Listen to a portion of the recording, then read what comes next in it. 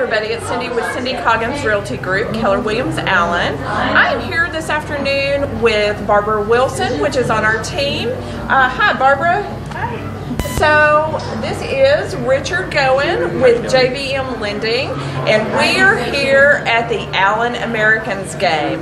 So we wanted to say hello. There's some things going on in the market that you need to know about. One of those things is mortgage um, loans for FHA are about to go up. So what does that mean, Richard, to the, everybody out there? Awesome. Well, it's great news. Uh, the loans are actually going up for FHA from 480, uh, 484, 350, all the way up to 510, 400, which is going to open up the market for everybody. It's great news. Fantastic.